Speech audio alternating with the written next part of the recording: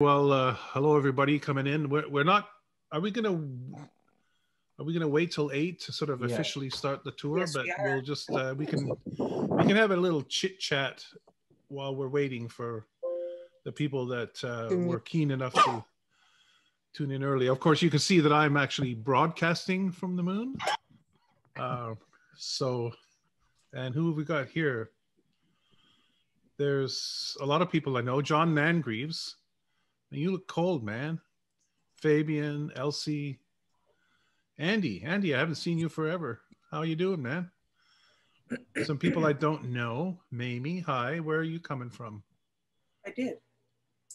You have to Oh, unmute that's yourself right, to say sorry. hi. Who? Where's Mamie from? You have to. You have to unmute your microphone, Mamie. Yeah, from Halifax, Nova Scotia. Oh, Scotia. okay, good. And uh, Afsha, where are you coming Afsha. from? I'm from London, Ontario. Oh, nice. Are you a, a member of the center there, the Yeah. RASC? The London RASP, but I noticed this lunar observing one and I was interested. So I thought I Did you did you happen to see the talk that my partner uh, Kathy uh, LeBlanc and I did uh, on the Micmac Moons back in I don't know June or something or July? no, I didn't. Okay, Is that- it recorded somewhere? It is. It's on. It's on the Micmac Moons. Um, Funny. the crater you can see next to it is the crater Werner, and the one beyond that is Aliacensis. And those are the two craters you look for when you're looking for the lunar X. So there it is.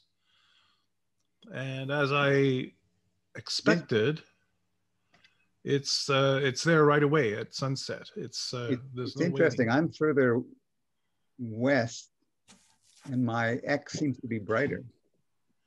Um, well, I think it's just got to do with um, whatever brightness he's got set. Okay. So how come we can see John's but we can't see Jerry's? because that's just my uh, Your setup. screen. I can't really, sh- I can't physically share the screen. Damn. What were you doing yesterday then? Okay. Why? Good question. Okay, John, that was nice. Uh, you can you can stop sharing now, so we can try to figure the rest out. Okay. I'm trying not to. Um, you know. Well, we can. I- Sorry, I was gonna- so um, it seems that when I when I try to share, I think maybe my computer gets overwhelmed or something. I'm not sure. There's there's Peter Edwards. Got it. He's I got, got it the in X. his- Yep. I've got it here in town as well, Dave, if you want me to share my screen. Um, well, why not? Let's see what you got.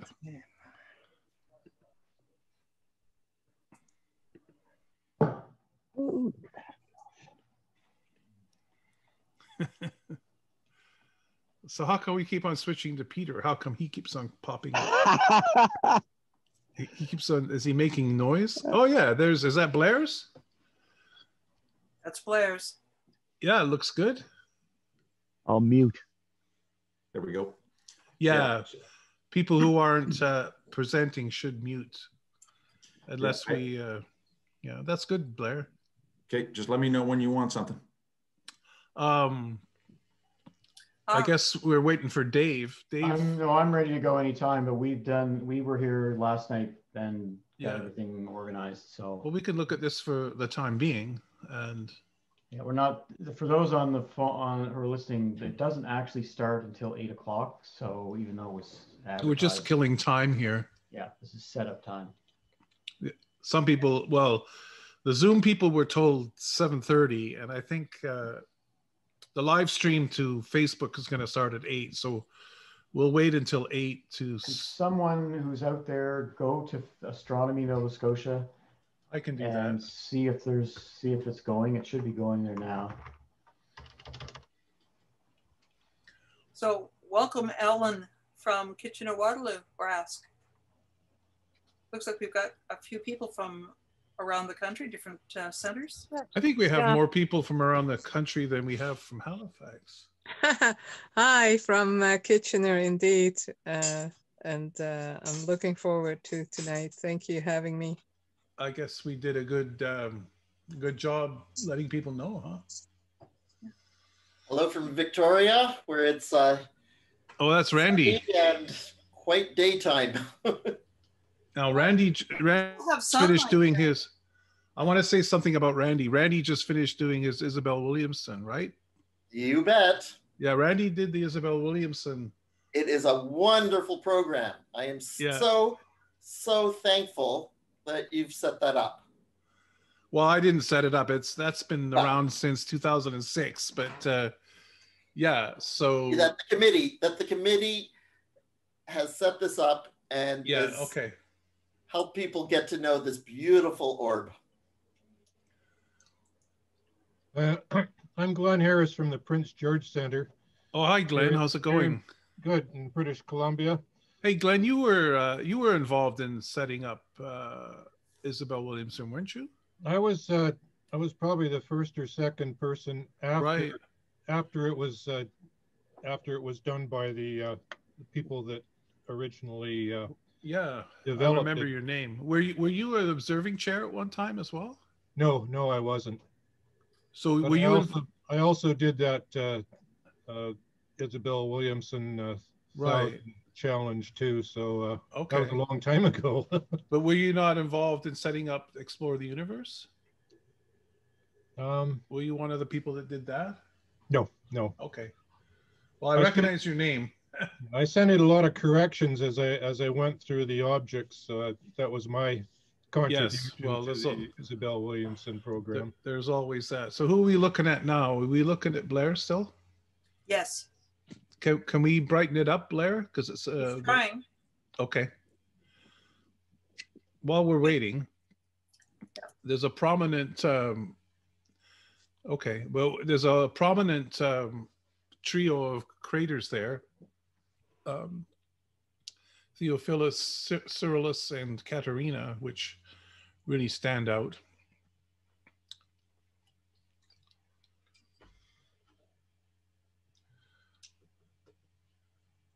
Sorry, this new version of Zoom, the uh, toolbar keeps disappearing on me. Ah,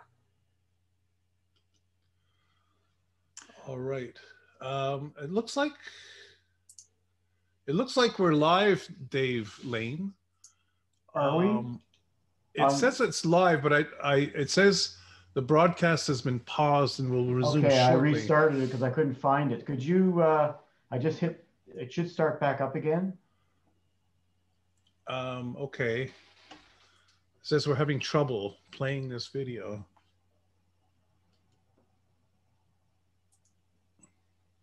It should be going again. Yeah. Um, I couldn't find it on the Astronomy Nova Scotia website. There's two people watching, but all I see is the uh, you've got some kind of a screen, eh? Yeah, I just have live online Explore the Moon session featuring, that's what should be going. Yeah, that's what that's what you have there. Right, and can you just turn the sound on and just see if you're hearing the Cuban music?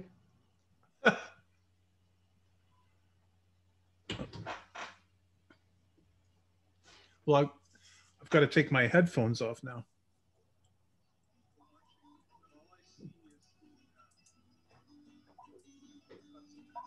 Yeah.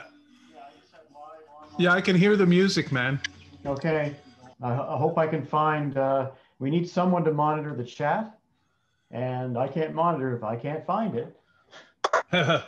We also have to share, share the link too. Uh, why the heck? If I could use the word hell, I would. Uh, can't, when I go to Astronomy Nova Scotia, it should be right on the, so, well, that's an interesting point. Is there somebody out there who's tuned in now who would be willing to volunteer to uh, follow the Astronomy Nova Scotia Facebook page and monitor any live chat that comes over there for questions? Anybody? I can't find it. I I got it here. Well, how I did can you find it? What? I can't find the feed on the Facebook page. Well, I don't know how I did it. I just see it. Um, I'll be monitoring the uh, Zoom chat for you, David. thank you. Is, is there anyone else besides me who can see the live feed on the uh, Astronomy Nova Scotia Facebook page. Hello, I hear you. anyone? Um, okay. 10 minutes and counting. Do I have to assign this to You someone? need to go to videos. Go to Astronomy Nova Scotia and then videos. And there's not there. There it is, videos. Okay, there it is. Oh, that's beautiful music. Okay, so now I want to share this. Oh, to- Christine, Christine has commented on it. My wife, Christine, she's seeing it. There's four viewers. That one of those must be me, And me now. and and and and Christine and you. So there's one other person. Oh, there's five now. So now I'm going to share it to groups. Um, I'm gonna pick somebody out of the. well, I, I found it now, so I can monitor the chat once I just get this going here. Oh, Uh, You want to do that? yeah. Uh, Okay, you can do that then. Okay, so ju- just out of curiosity, before we get going, um, I've noted that there are uh, member people attending from Kingston, Ontario, Kitchener, Waterloo, London, Ontario, Victoria, and I think I missed another location from someone out west. Of course, it's uh, middle of the day out there. Yes, You missed Orleans. missed Whit, Orleans. Orleans, Ontario. Well, that's Ottawa. That's that's Yeah. essentially Ottawa. Yeah. I don't know if I offended anybody just there, but not at all. or as they say in French, Orléans. I don't say that out here. Most people uh, in Orleans probably speak English anyway. I used to live in Ottawa. That's where my Yeah. family was. can Oh, you, 50 50. Dave, Hello. can you go in before we start here? Go in and share because I, I can't share any of the groups. It's just they're just not coming up. I don't know what, what what do you want me to do? Share the video to Uh, RASC Halifax and Royal Astronomical Society of Canada, the main. oh, okay, yeah, okay, I'll do that. because it's I, I shared it to uh, Astrophotography Nova Scotia because that it seemed to find that. Share to a group. yeah. Share as Astronomy Nova Scotia. To I only okay. Share as me. Oh, oh, I can go crazy here. Uh, robotic imaging, maritime vegetable and herb growers. Do you think they want to see it? I'm going to share it to uh, Intergalactic Astronomy Educators Fellowship Science Disseminators Group. But that's you remember. Remember Carlos down at the Winter Star Party? Uh, yep. Yeah, he he runs that. So so they're getting it. Whether they like it or not. Um well this is fun. We're taking over the uh Okay. Can I share over the my screen, please? Yeah, let's let's let Dave is the guy who stepped forward to do this. So we should be So Blair, Um, can you unshare, please?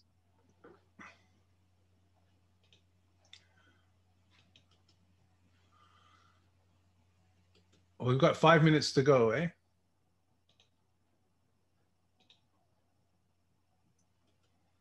Share to a group. What else? Uh, visual astronomy. I don't know. I'm gonna I'm gonna skip them. Blair, are you there?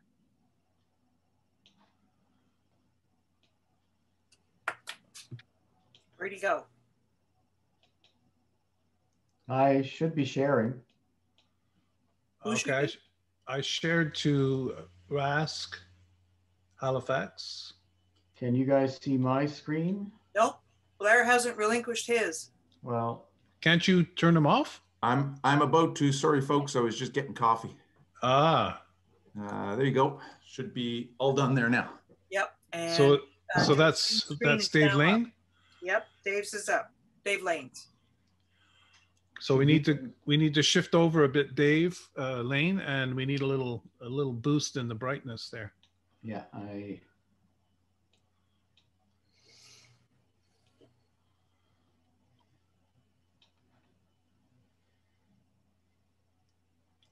One X. So Kim Hing Kingston is saying she is the lunar L and the X showing now. The lunar L or the lunar V? Well, she says L. Hey, well, Yeah, the V has been visible for a little while, uh, well up above the X there. I guess it depends which way you're looking at it. we're we're getting a few comments on the uh, astrono- astronomy Nova Scotia. People like the music anyway. That would be uh, if it's what I think it is. It's uh, my friends, my Cuban friends, uh, Son del Rio. Um, they gave me a bunch of music, and uh, they do a few instrumentals. So that's what's playing for the people on listening on. Um, It's it's uh, it, it is. I have it one song on repeat, so it's uh, Yeah, and uh, Kim has said L. L. It's L. yeah. What Okay. am I looking for here? Um,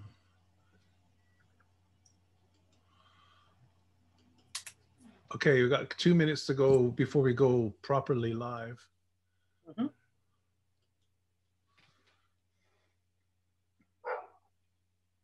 Whose dog is that?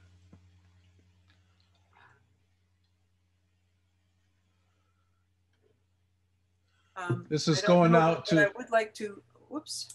this is going out to the North Shore Erie amateur astronomers who are in uh, Ontario in the tobacco growing area. It's now going to go out to the Queens County Astronomy Group. We're taking over the internet. three minutes to go.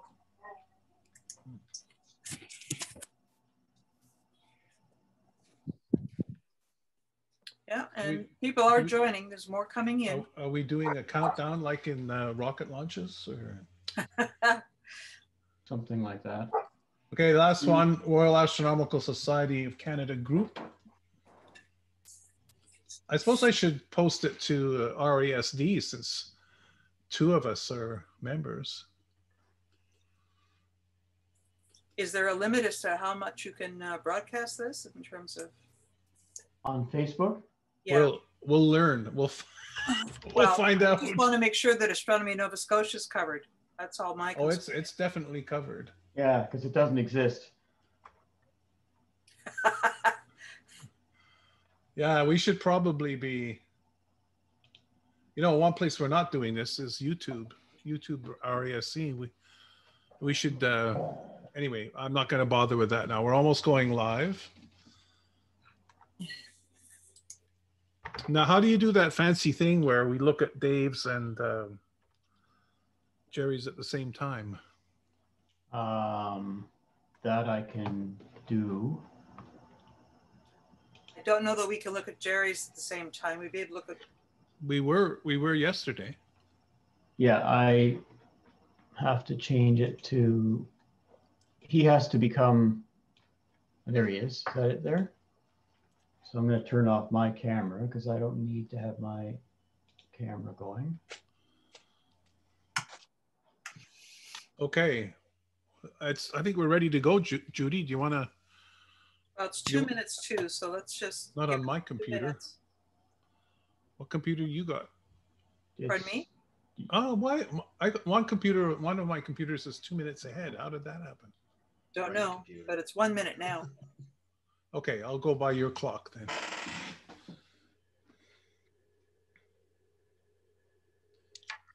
Turn down the title text. We got the Zoom.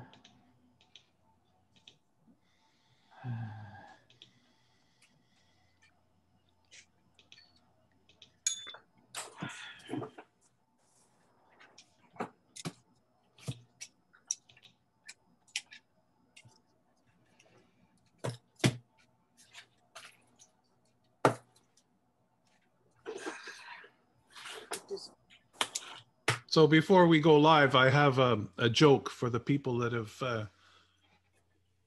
have tuned in early. This is uh, so. The question is, have you heard about the restaurant on the moon?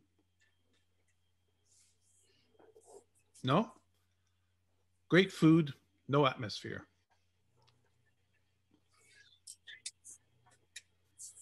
You may have to get a new joke, Dave. You, you tired of that one? Oh, well, Cheryl Jeffers laughed at it, and she lives up the street, so I'm taking that. I'm gonna. There you go. All right. Well, it is now eight o'clock, Dave. Hey, So, just let me switch sorry. screen. I'm going to switch the Facebook screens and then the sound should work. And someone should verify on Facebook that they can hear. I guess I'll turn it on to make sure the Well, uh, sound comes. We know that we know that the sound works, Dave. We just No, need but to go- not, not Oh, this way. That- okay. Okay, I've just made the switch. We are live on Facebook. Seconds, I think. There's 11 people watching.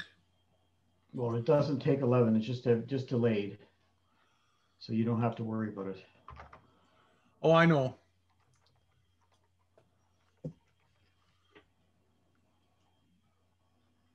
No, but not. Just made a switch.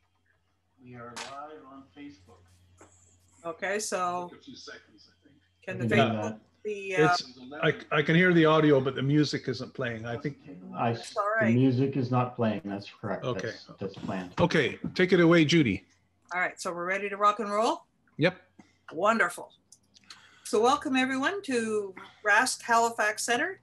Uh, this is another evening of looking at the moon close up. Uh, we're hoping to explore the moon, give some people an idea of uh, some of the objects that are out there that they can, uh, and keep in mind this cannot be included for your Explore the Moon certificate, but at least to No give you way. where to look. Um, the Lunar X, as you can see, is featured on our screen. I'd like to welcome people from across the country everywhere from Victoria, Kingston, Ontario, Kitchener, Waterloo, London. uh, Prince and George. Just outside of Ottawa, for those of you that don't know where that is. Um, so welcome everyone. Uh, tonight, uh, our host, or actually our, our guide on the moon is Dave Chapman. He is currently sitting as our observing chair and he is serving on the is it the observing committee as well, Dave? National? Yeah, the, the observing committee of the RASC, I'm a member Yes. and former uh, chair. Right. And Dave is what we refer to as our resident lunatic. Uh, so I'll let you take it away, Dave. Okay, well, thanks so much, Judy, for that introduction.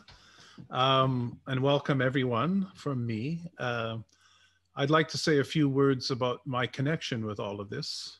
And uh, uh, what's that there? Get rid of that. Okay. So there's, there's two things um, about this is we're promoting uh, obviously lunar observing and the Explore the Moon uh, observing certificate. Um, and the other thing is the Lunar X. We we chose this night um, when I noticed that the Lunar X would be on view, and uh, so um, my connection with the Lunar X. I think I should explain that. Uh, I have a connection with it. I did not discover it. I've, I don't claim to have discovered it because it's something that it shows up every lunation to somebody if they're looking. Uh, but it wasn't really well known until, um, gosh, almost 20 years ago. And I'll tell you the brief version of the story. I went out, we were at the uh, Nova East Star Party in 2004, and it was uh, in late August and we had had a terrible weekend. Friday and Saturday night were both rainy. We didn't do any observing. We woke up Sunday night, Sunday morning, and it was clear, and it was promised to be clear that night. Uh, but a lot of people had to leave because they had work to go to and stuff like that. But uh, about a third of us stayed, including me, Sunday night, and it was a beautiful night. And as it got dark, the moon was about the phase it is now, uh, around first quarter, and I was setting up my telescope and I trained my telescope on the moon and I saw this X. Now, I wasn't zoomed in as much as we see here, but what I saw was the moon almost the first quarter and I saw this brilliant X in the dark side of the moon. And so what we're seeing here in the in the view is that is the moon the the the line the very irregular line between light and dark is called the terminator, and that is the point on the moon where the sun is rising. So on the right side of the screen, it's already morning on the moon, and on the left side of the screen, it's still night. Um, because there's no atmosphere on the moon, it's a very distinct transition. There's no in between. Um, it's it's either light or dark. So I saw this X and I got very excited and uh, roused a bunch of people to look at it. Uh, Tony Jones took a photograph, and I started um, looking around after I got home to find out if anyone knew anything about this, and I couldn't find anything about it. But gradually, uh, some information emerged, and um, uh, somebody came up with a picture of it that had been taken a few months earlier. And um, anyway, uh, that was uh, in 2004. And ever since then, uh, it's gotten more and more popular and interesting. Uh, there is an article that I wrote for the Journal of the RASC, and I'll when I find it soon, I'll put up a link to it that that tells you everything about the lunar X, but we're afraid to ask but it's gotten more and more popular. So there's a lot of magazine articles about viewing it. A lot of people uh, just going out observing or having a star party come across it by accident. Anyway, we're lucky tonight that we have a good view of it here. Um, so that's my connection with the Lunar X. Um, the crater that's closest to it well that you can see anyway is called the Werner. Uh, there's a there's actually a crater next to it. That one there, yeah, that's Werner. Uh, I I think the one just north of it, which is all mostly in shadow, is Purbach. Although mm-hmm. I have mm-hmm. to check that. Um, Dave, uh, you might want to just make, or I'll make an announcement since I can. Uh, we're those of you who are on Zoom be aware that we are self we are simultaneously broadcasting this on Facebook. So if you don't want your image to appear on Facebook, turn off your video um, because it is it could appear uh, simulcast depending on whether you're on the, the first page of four that are, is showing there. So I'll just uh, leave it at that. Okay, I guess that's a a kind of warning. Yeah just a, a disclosure. So, yeah, so I was saying that the X, the, the crater that was filled in, it's actually Blanchinus, which is the one that's right above Werner. And Purbach is actually to the left of the and it's totally in shadow, except for two arms of the X as the crater walls of Purbach. And there's another crater north of it called Lacaille, so I'll explain what's happening here. So there's there's essentially there's three or four craters all jammed up next to one another. And the sun is just rising at this point. And like it does on Earth, when there's mountains, the sun is catching the tops of the mountains while the valleys are still in darkness. And you know, this happens on Earth. You know, if you're if you've ever been in a mountainous area, the sun comes up and you're in the valley and there's no sun for a long time but you can see the the peaks of the mountains and this is exactly what's going on here the the x are is just walls of craters that happen to be arranged in that way and the light is catching the sunlight is catching the tops of those uh, a couple of hours ago you wouldn't have been able to see it and uh, it, it starts out looking like a little bar and then it turns into a T and then it turns into an X. And there's actually a tiny crater. I, I think you can see it. There's actually a tiny crater in the middle, which I don't even know has a name. Uh, it might be a secondary crater of Lacaille. Um, you can sort of see it there. It's a little crater. Um, and as the Dave, sun rises, if you, to, if you, want me to point things out with my cursor here, uh, can you can you see the little crater at the middle of the X there? Uh, you mean if I zoom in? Oh, we don't have to zoom in. What? Whoa. Okay. um, I moved.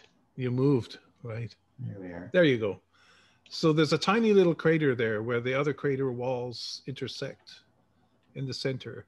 Yeah, yeah, there you go. See it Like there? right in there? Or? Yeah, yeah, there's a or- tiny crater there. It's on my map. I don't know if it has a name. Unfortunately, if- my cursor is not showing on the Facebook. Uh, Uh, okay. oh, no, If anyone-. If It is. anyone has a um, Rükl Atlas handy, they could flip to the right page and see if that crater has a name. I don't think it has a proper name of its own. It's probably a secondary crater of Lacaille or one of the others, and it's it'll just have a letter like Lacaille C or something. Uh, Randy Enkin is saying that it's on the Rükl 55 map. It doesn't have a name, so I think we should name it. Maybe we should send in a, a, a note to somebody. We have a Facebook question.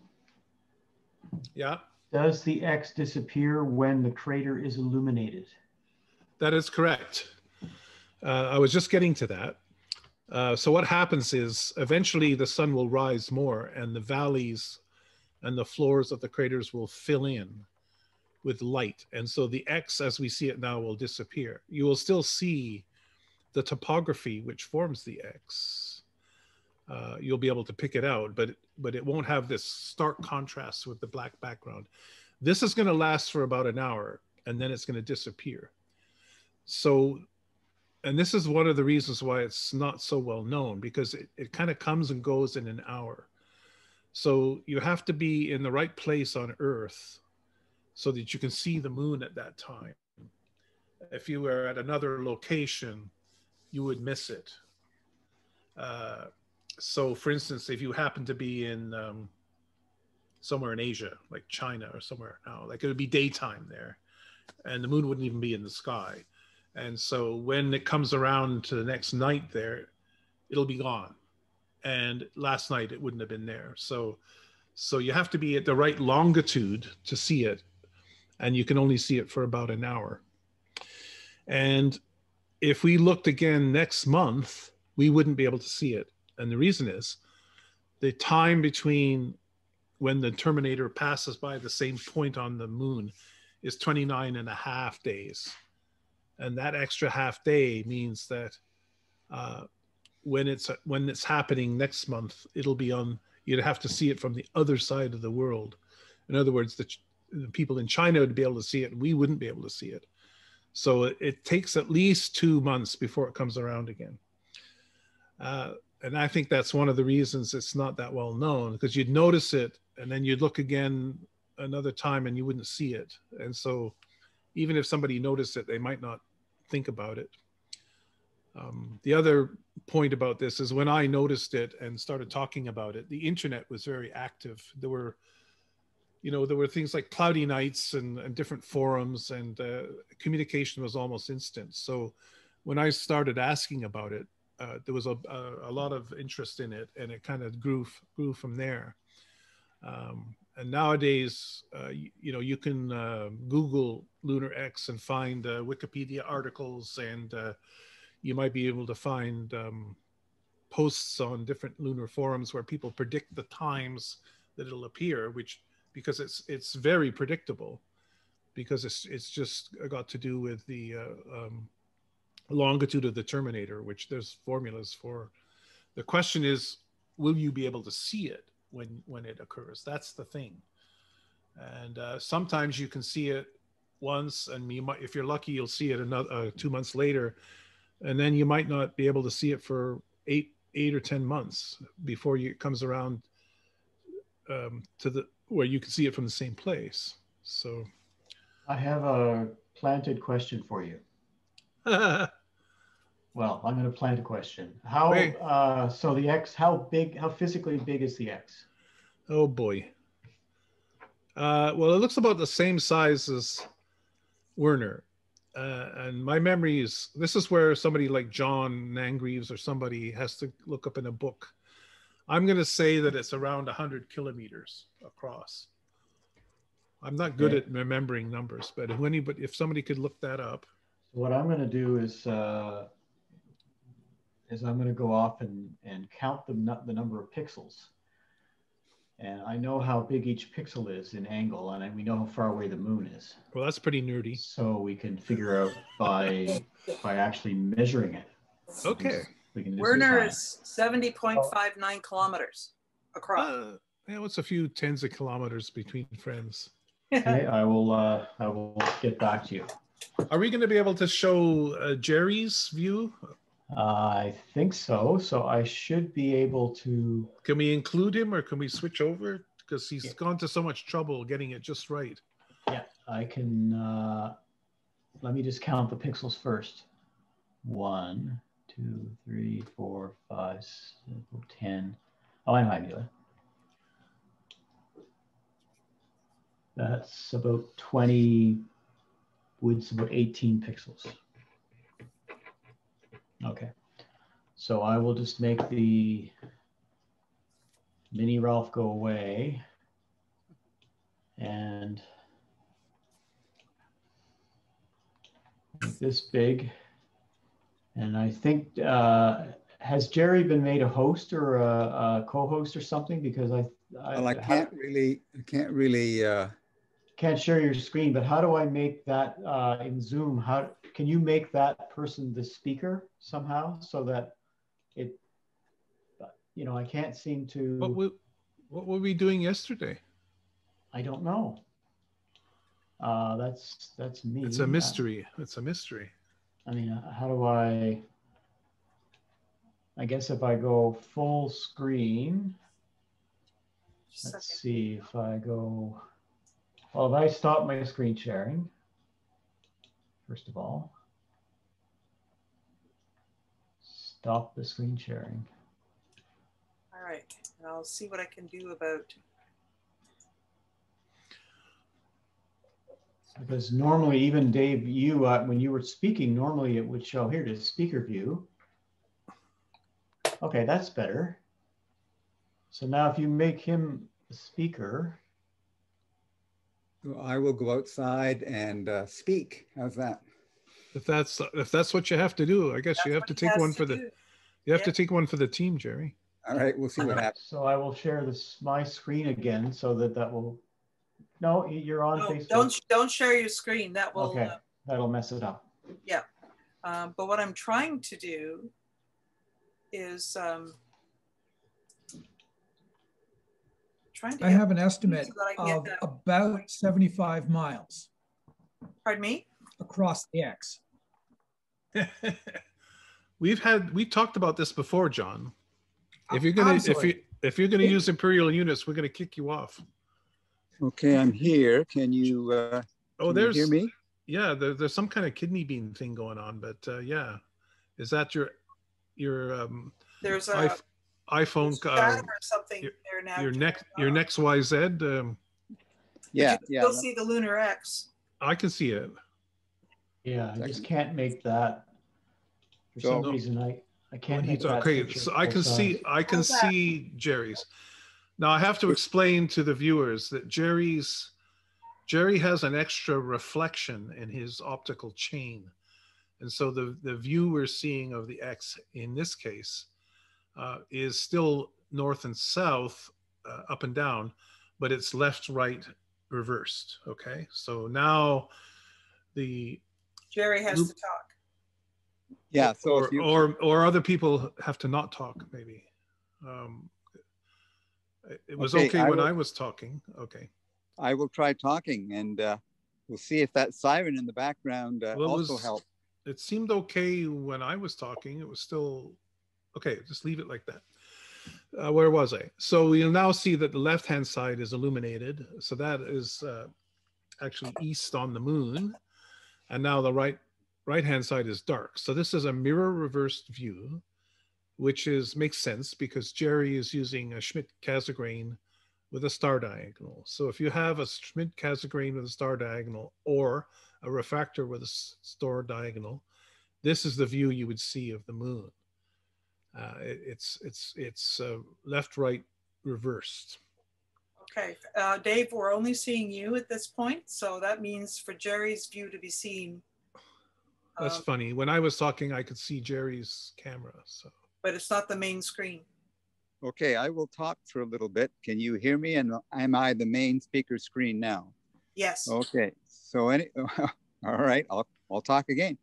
The, uh, so the only interesting thing, this is not a particularly useful approach because in fact, it's not really uh, computer controlled. I haven't got really any control over the image other than it is uh, notable in that it's an iPhone attached to through a Celestron XYZ uh, phone adapter onto uh, a uh, 4.7 millimeter eyepiece with a 2500 millimeter uh, 10 inch Meade SCT. So it seems to produce a pretty nice uh, balanced uh, auto auto balanced uh, image and uh, is keeping itself fairly in focus.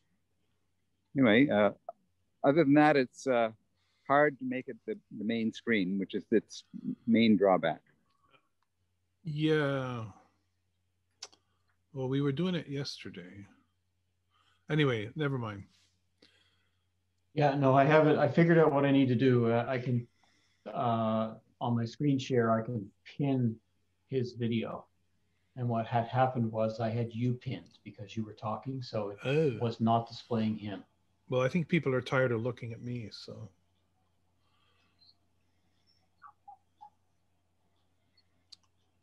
Right now, he's shaking the telescope. Yeah, yeah. Sorry, sorry about that. That better? Yep. I was trying to get rid of that uh, internal reflection there. You can see a slight blue hinge, uh, blue tinge. I think that's uh, some sort of reflection happening. At the risk of um, knocking Jerry off the screen, I'm going to say this, and then we'll go back and watch him. Uh, you can start. You can start to see the surroundings of the X filling in now. There's some more peaks illuminating.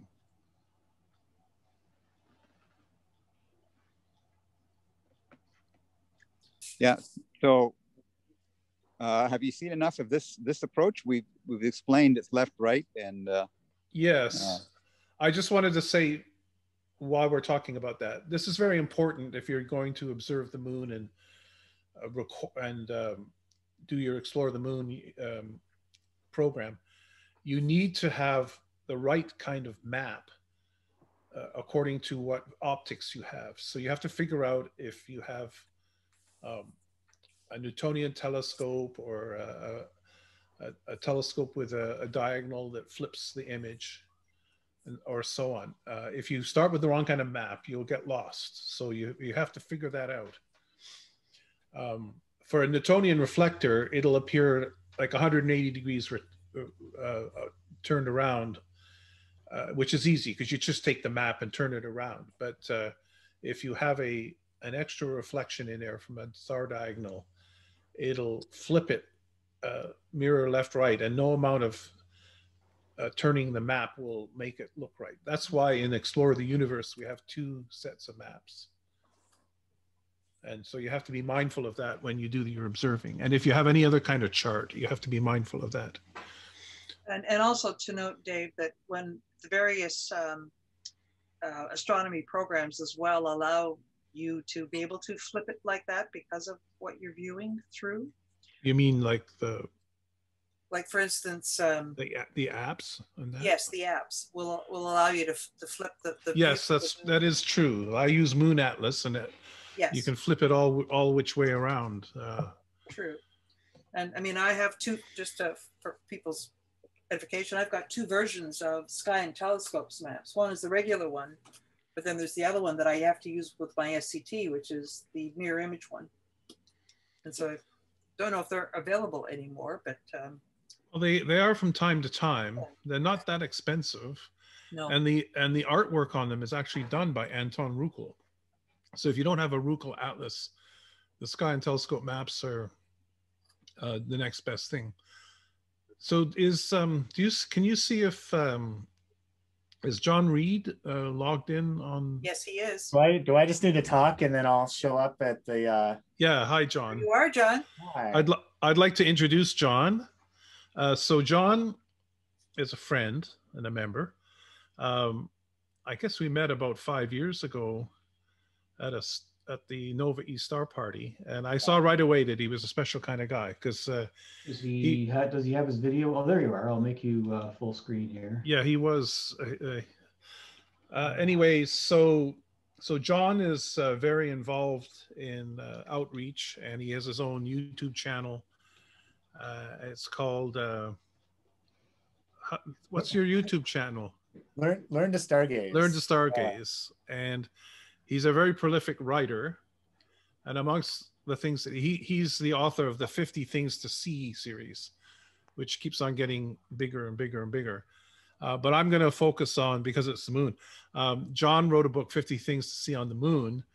And I'm going to say I helped him with that. And it was a great project. So, um, and I want John to talk about two things. I want him to talk about his book and I also want him to say a few words about the RASC Moon at Noon program coming up. So, John, over to you. Yeah. Okay. Well, can you see me? Am I the highlighted screen? Because I, I just see Dave's face right now. I can see Uh, you. Okay. Uh, yeah. So which one do you want to tackle first? I don't know. So uh, you want to talk about the moon and noon first? Let's do that. So Sure. starting starting April first at noon Eastern. So I guess that's one Atlantic. Um, uh, so it's RASC is putting on a show called Moon at Noon, and so it's a quick show. It's thirty minutes uh, every week, I believe, and it's going to run for I think ten weeks. I need to check.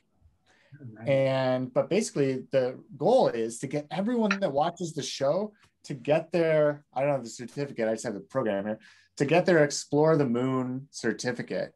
And so basically, we're going to walk you through every target that you need to get to get your Explore the Moon, and we're going to have a lot of fun at the same time. So we'll be doing like trivia. I, I want to talk about like all the cool spaceships that went to the moon, uh, where they landed, um, if they crashed, et cetera, et cetera.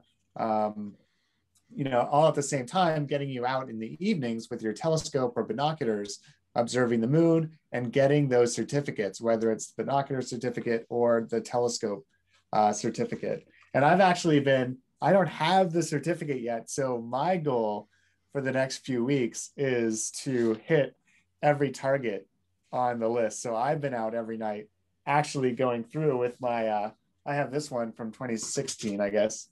And um, so I haven't missed a night except for the snowstorm. And I've been uh, documenting all my progress here. Let's show you some of this. My, my beautiful handwriting, which Dave says is, is equal to his. But basically, you just want to prove that you've seen all these features. Um, and then after you've seen all, there's 70 or 80 features that you need to see. Something like that. It's around 100 for the telescope. Yeah. Okay. 100, 100 features. Then, then you get your certificate and you have a lot of fun along the way. Um, so everyone, yeah, it's tune in moon at noon. Um, you can go live and ans- and we'll have like Q and A and stuff, and we'll respond to comments. It'll also be streamed on YouTube, and then you can watch it uh, after the fact on YouTube as well. So it's it's going to be a lot of fun. So I've been out there with a 70 millimeter, hundred dollar telescope, trying to replicate sort of the worst case scenario, and um, I, I'm still having fun. So, and Dave, the second thing you wanted me to talk about was the book for a second. The book, the book, yeah. And, and am I coming clear? I'm not like too delayed for you guys. No, uh, maybe on Facebook, but that doesn't Okay. matter. Um, yeah, so I don't know. It was three years ago. I think Dave and I got together in a pub in Dartmouth, and I I to to meet for our first meeting event, and I was like, we're gonna write a book about 50 things to see on the moon, and it's gonna be great. And um, so basically, we we put it together. Long story short, it got published by Formac Publishing. It got picked up by Celestron and packaged with all their beginner telescopes for a year. Uh, and I blame this book for the Simon Newcomb Award in 2020. But we had a lot of fun putting it together, and I wanted to address some of the challenges that people face uh, when they observe the moon. And you guys just talked about this with having to find maps for the different telescopes. So you've got your regular view, like a binoc- with binoculars, or if you've got an image erect diagonal, which uh, most sort of sub $200 telescopes have. But if anyone's using um, something that's mirror reverse, like a, a good refractor or a, a Schmidt-Cassegrain with a, with a diagonal, you're going to need another map. Um, and the other thing that can get confusing is if you're using a Newtonian or a Dobsonian, the review is rotated 180 degrees. So that's going to give you a headache if you're trying to, you know, do one of these programs. And so what we did when we put the book together is we provided all three views. So every page has binoculars, Newtonian, um, reflector, or sorry, refractor, and even all and even the maps when we do um, the lunar lunar seas, we've got three. Oops, there's your summary of your targets. Yeah, so we've got all three views. Really quick reference. So anyone that doesn't have this book, uh, you should pick it up because people really love it. They can spend a year on it. And um, it says 50 things, but a lot of like the gang of four is one thing. So you've probably got about 100 targets in this book as well. You can't quite use it for Explore the Moon because there's extra targets in here and it's missing targets from Explore the Moon. Uh, and that's mostly just a function of the way that I wrote it. I wrote it by observing the moon every night for about six months. And I just documented what targets stuck out to me the most and what, what did I find most interesting. And that's, for the most part, that's what made it into the book. So. John, the question is, where can you buy your book? Anywhere. So hopefully all the bookstores in Atlantic Canada should definitely have a copy. Some of them run out. I know at Christmas they all ran out. Um, but of course, Amazon. Uh, so the hardcovers are shipped and sold by Formac here in Halifax, and then the soft covers are um, are Amazon. Okay.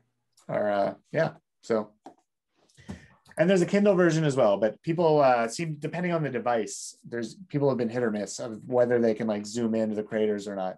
Some of the some of the some of the Kindles, the phone don't let you zoom in. So I've had some feedback about that. So definitely you want that paperback or hardcover version. Okay, yeah. uh, another question is too, and I'll just preface it by making sure people are aware that what you see in a telescope, you won't see in binoculars. Uh, but the question from Cheryl Jeffers is, any suggestions for binoculars to use when observing the moon? So that's not a question for me per se, because I'm not a huge binocular observer. I tend to observe with 10 by 50s um, because my zoom binoculars that I use, I find them too bouncy when I get over 10x. So I'll speak to that. Um, um, if you want to use binoc, there is a binocular version of Explore the Moon, which only has 40 targets that you can see in um, in uh, binoculars. However, um, it would be helpful if because of the detail that you're looking at. Um, most binoculars have a little screw off cap at the front that you can screw off and it exposes a, a socket and you can use a, a, fairly inexpensive adapter to attach that to a tripod. So if you are using binoculars, I'm not saying you have to, but it would probably help if you got mounted them on a tripod. And beyond that, it doesn't really matter too much what binoculars that you yeah. use. The um, um, the higher power, the better for for sure. But the higher power you go, the more shaky the view. So that's why the adapter is good. And then if you really have deep pockets, you can get image stabilized binoculars, but the, the cost of the binoculars are like 10 times more, like hundreds and hundreds of dollars. But uh, um, 10 by 42 image stabilized are $1,600. Yeah. So as I said, they're bloody so, awesome though. They are. I've they got... are awesome. And Cheryl, Cheryl lives on my street. Cheryl, if you come down and visit you, I'll. I've got a a, a bunch of binoculars here that I would uh, happily uh, let you have for a, a negotiable price. So. she said, um, "Thank you." uh, so so thanks so much, uh, John. Uh, I remember the story a little bit differently than that, but uh, what I remember is we were goofing around one day and I said, Hey, you know, we should do 50 things to see on the moon. And you kind of laughed. And then you went into a meeting with Formac and uh, they wanted Oh, to publish, right, yeah. they wanted to publish your telescope book. And in the meeting, they said, okay, well, that's okay. What's your next book going to be? And, and you were kind of, I think you were like caught off guard. And I think you mumbled something about, well, we got this idea for 50 things to see on the moon and they said the way you told it to me anyway they said great you know i'd like to see an outline in two weeks and a and a and, a, and then you called me up and said hey we're writing a book yeah, you're going way back in time now. i know but it, Yeah, that was, uh, it was pretty exciting That was- and that's eight books ago for me, I think. I know, and and I went. the first thing I went to do is I went to explore the moon. I said we have 50 things to see on the moon, and I went down and I wrote down all the things that were in the uh, binocular version, right, and a couple of other things. And I said, here, this is this is where you start. Now, in the end, you had some other things that you liked, but I think because of that, the book is actually, if you're going to do explore the moon by binoculars, John's book actually covers all of the things that are in the RASC observing program. So if you want to do it by binoculars, John's book is not a bad way to go. Yep. And you get some cool stellar facts along the way. So, Yeah. yep. Um, yeah. Anything else? Anything else for me? Um, I think what we should do now is maybe go back to Dave Lane and have another look at the X and see how things have moved along in 20 or 30 minutes. Okay, just Right give me on. a sec here to turn it on. Uh, I guess I gotta get rid of, rid of that. That over there. And move mini Ralph in place. What happened? It's just become too big.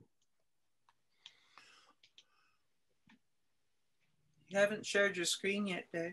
That'll help too, won't it? Um, hmm.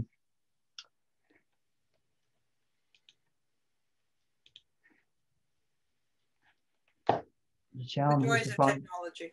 yeah, the challenge is to find out where the heck the uh, Zoom window went. Zoom control. Ha ha ha. Well, can we go? Can uh, how's um Jerry? Jerry? Can you can we go back to you while we're Oh, waiting no, I for got Dave? it. Found it. Okay, good. Okay. Okay. So so that's a, the the fresh picture, the most recent one, 837. So Uh, that's now, yeah. So what I see here is that things haven't progressed a whole lot, and there's a good reason for that. Um, this, the moon, the moon goes around the Earth in about 30 days, and it and it um, it it it shows the same face to the Earth. So that means it's spinning on its axis every 30 days. So whereas the Earth spins once a day, the moon is spinning 30 times slower. And that means that on the moon, sunrise takes place 30 times slower than it does on Earth. So it does take a while for these things to unfold. And in the few minutes we went off to talk to John, nothing much has changed, although you can see you can see a few things around the X starting to poke out of the darkness. So rather than kind of, this is like watching paint dry. So I think what we need to do, Dave Lane, Yeah. uh, what we need to do is maybe do a little tour along the Terminator and pick out a few more um, objects that we can point out to people. Yeah, just gonna adjust the contrast so we're seeing the Yeah, full. well, that. Yeah. The lunar V is visible tonight. Yeah, you could. Uh, do you want to go north? uh, So let me Lane? give a, let me just do a, f- I gotta take a full view. Stop the auto, take a full frame. By the way, uh, I did do the calculation and it works out to 55 kilometers is the diameter of the X based on its angular size today, given the moon's distance today. Okay, Um, that sounds about right. Okay, so I will just, uh, just do a zoom in on the full moon first. Take a single picture. By the way, for those who are watching, this is being, these images are being taken by a four inch, 100 millimeter diameter Televue Genesis refractor in my backyard that's actually known as the mini robotic observatory. And you can use that observatory yourself if you wish. Just Google mini robotic observatory and you can sign up. Can, Okay, can, we, can we can we observe the moon with uh, You can, yeah. Yep. Uh, so where are we headed? uh, north of where we were? Uh, could you We- we make it a little down- bright? Yeah, make it a little brighter. I would say about halfway to the north. That we should be able to see the V. Yeah, I can see it there, right in the middle at this point. Somewhere here, Higher. Higher, stop. you go. There. right So- there. So if I just kind of adjust the contrast for that. Yeah, you can sort of see it there. There's the lunar V. Now, Kim Hay, is that what you call the lunar L? Well, there we are.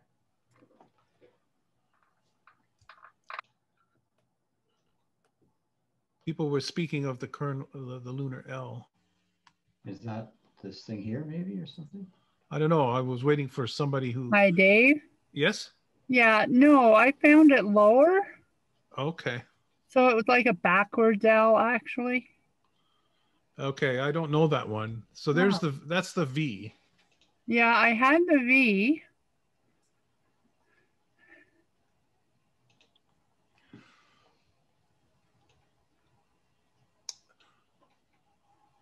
so while we're talking about these things, so these these are there's a special name for these effects. They're called clair obscur, which is I think French for light and dark. It, it's a it's a light and dark contrast phenomenon. So you have to have the lighting just so in order to see these objects uh, the way they're uh, in their ideal form. And um, a, a lot of veteran lunar observers uh, you know they don't they don't think much of this they think this is like just i don't know what but uh be, because i guess of their fleeting nature anyway they, anyway a lot of people seem to enjoy l- l- watching the terminator and seeing these things come and go so the other Uh, Randy Dodge says the L is right down on the bottom. on the bottom like the south Yeah, it's below the lunar. It's south of the lunar X. But okay you've got a really cool feature there in the center, right beside the V. Is I call it the archer's bow, but it's that, that that rille this, with the this crater in the little uh, line right here? That's the yeah, hi- because I think that was the lava tube, and then the middle one is where it collapsed. Into, that's the uh, that's Hyginus and Hyginus rill isn't it Yeah, exactly. And I forget if that middle crater thing is what's called a skylight, and that's when the lava tube collapses in Yeah, like this- like a sinkhole would. Oh, you, you mean up here or? Uh, no, down the the rille, right? Yeah, this, Um, this one in between, this little thin one, you mean, or? Yeah, so they like Rima Rima Hyginus Hyginus. and Hyginus crater yeah Yeah. maybe someone could Um, look up Hyginus and see what the history is on it But I I just found out about, or at least was re-reminded of lunar skylights. And if you see images from the lunar reconnaissance orbiter of them, they look really, really, really cool. Like you could just put a lid on it, and then you'd have your lunar base. You could have your city in this underground thing with the with you know just the top capped off. Uh, so it's sort of a fun thing to Google. so what makes it a highlight instead of just a regular crater Well, it's a, it's called a skylight, like in a house, because you can. It's when there's this big underground cavern, okay and then the roof, and then the roof caves in in a circle, and so you basically have this skylight into a into a into an underground cave. i see Yeah, Um, it, it says hygiene, hyginus isn't considered a crater at all, and instead may be the result of a collapsed volcanic feature, a caldera, where overlying material on a possible magma chamber sunk down after it drained out its lava load. So yeah that's what he what he that. said Yeah, exactly. yeah, but what's what's neat is if if you Google a bunch of them, some of them look spectacular. They're really cool. I, I doubt you can see any with that sort of detail from Earth, but with the spacecraft photos, they, they look really fantastic. Like like place you'd want to visit. So the lunar sea, the small lunar sea, which is just north of that, is Mare Vaporum, which is the sea of vapors. Of course, the lunar seas aren't seas at all. Um, but when people first started looking at the moon, they imagined it was like another kind of Earth, and they saw the dark, um, roughly oval um, patches on the moon. They assumed that they were seas. The other parts of the moon obviously looked mountainous, and the seas looked flat. And so they called them seas. That's why they have names like Mare Vaporum and Mare Tranquillitatis. Um, but what they turn out to be is uh, very large impact craters that were formed um, from large objects and at a time when the lunar mantle was still liquid. And these big impact craters, there would be these big impacts. So there would be big craters, and then the magma from within the moon would come up through the cracks and flood these big craters. And and then since that time there hasn't been as much bombardment. So you don't see very many craters within uh, the the mare. And and the ones that you do see look very young. They're they're very sharply defined uh, and haven't haven't been subjected to a lot of um, degradation. So they're the younger craters on the moon. So when I say like probably just about a, a billion years old rather than three billion years old. So there's there's no weather on the moon, so nothing really uh, nothing really uh, changes. Uh, so the degradation comes just from impacts of smaller bodies that just kind of wear the walls of craters down. So that crater you see just north there is called um, um, Man- Manilius. It's very, very round, very sharp edge. That's a, a, a, relatively young crater that's come along since the Mare was formed.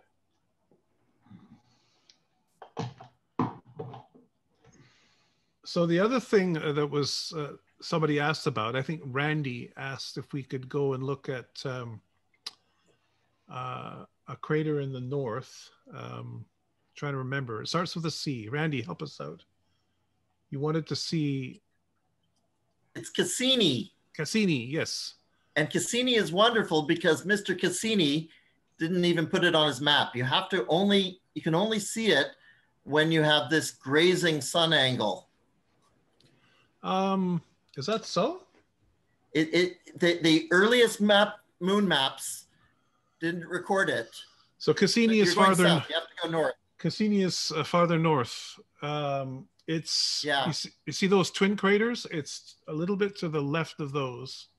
There somewhere. We need, to, we, we need uh, farther over. We need to brighten it up there. It's near the Terminator. Oh, is it this thing? No, it's below that. But we need more light. We need more brightness. It might be that one. There it there. is. There it Just is at there. the bottom. This one here or this Yeah. one Yeah. here? No, that one that you just saw. That one. That- that's Cassini. That one.